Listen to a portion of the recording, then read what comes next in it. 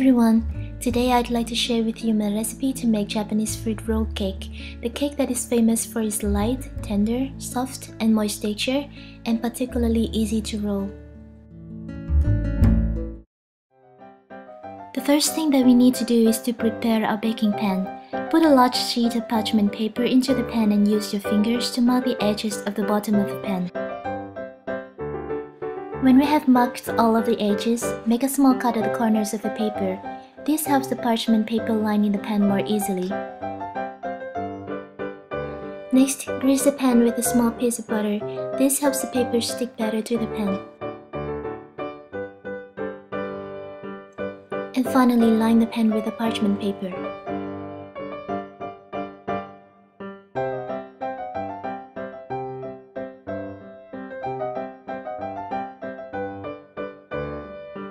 For the cake, we first need to separate the yolks and the whites of the 4 eggs and we put them into two different bowls. Then in the bowl of yolks, sift in 20 gram sugar and whisk until the sugar has dissolved. Next, add into this bowl 40 milliliters milk, 40 gram oil and half a teaspoon of vanilla. Whisk until we have a very nice and smooth mixture.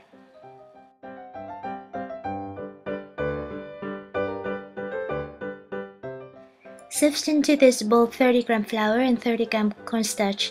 Mix very well until everything is incorporated and we have a very fine and smooth mixture.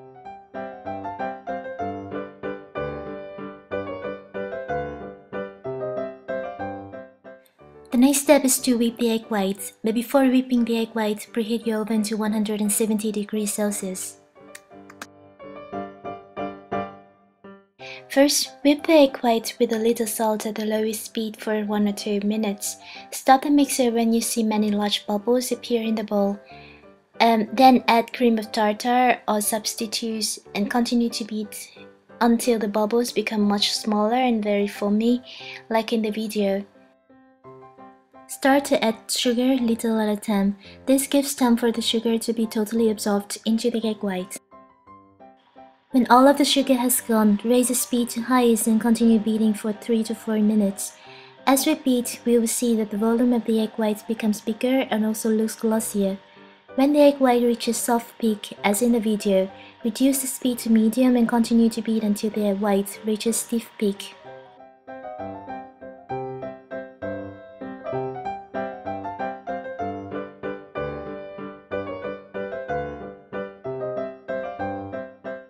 First, we take about one third of the beaten egg white and gently mix it with the egg yolk mixture.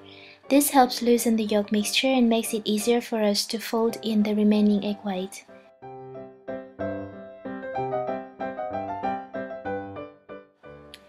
Take another portion of egg white, put it into the yolk mixture and gently fold in.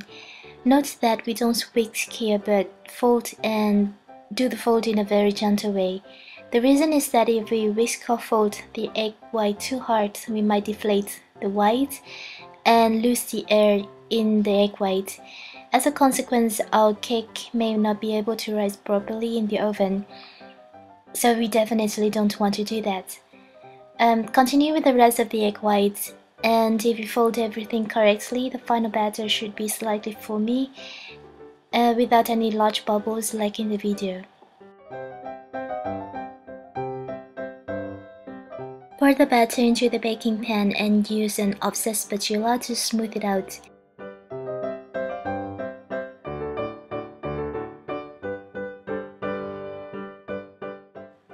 Tap the pan onto the counter several times to break the large bubbles in the batter.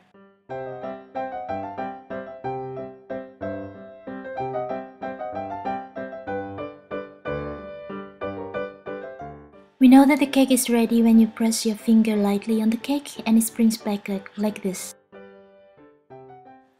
Take the cake out of the pan and slightly pull the parchment paper away from its edges.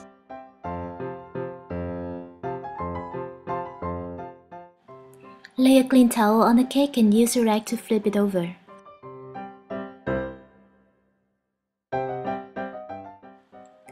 And remove the parchment paper from the cake. Let the cake cool down completely at room temperature.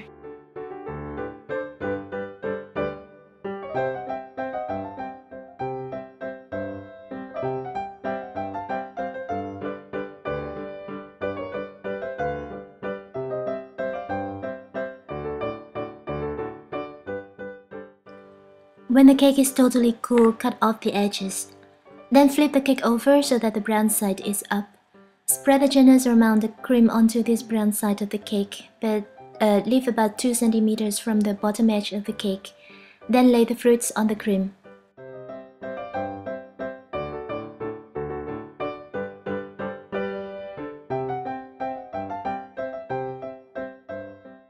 Gently roll the cake over.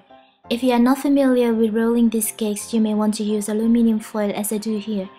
Aluminum foil is quite hard so it's pretty easy to shape the roll with it. I feel it's much better than using a towel or using parchment paper. When finished, use cling film to cover and reshape the cake. Put the whole rolled cake in the fridge and leave it there for at least 4 hours. The cake tastes much much better after one night staying in the refrigerator.